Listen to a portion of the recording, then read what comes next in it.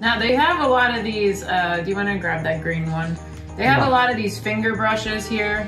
Uh, I, I had tried this in the beginning when she was a puppy. You know, you put it on your finger and then you get in the pet's mouth and do it that way.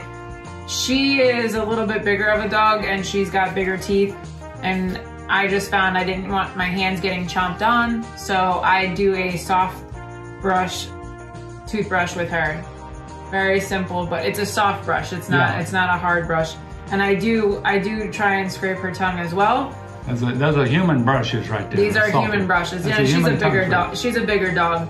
Uh, but I found that to be the most successful when I brush Chloe's teeth. Right. This small-headed brush may work for us For a for a small pet. dog. You know, so just get a maybe even an end-tuft brush that you can buy to brush your teeth. But the key thing is do it twice a week. That'll do it. All right, and then at age five, the teeth will be perfect. At age ten, they'll be perfect. You won't be spending a ton of money, and the dog won't be in pain, and the dog may not get will even get sick from it, and the dog may give you gum disease. All right.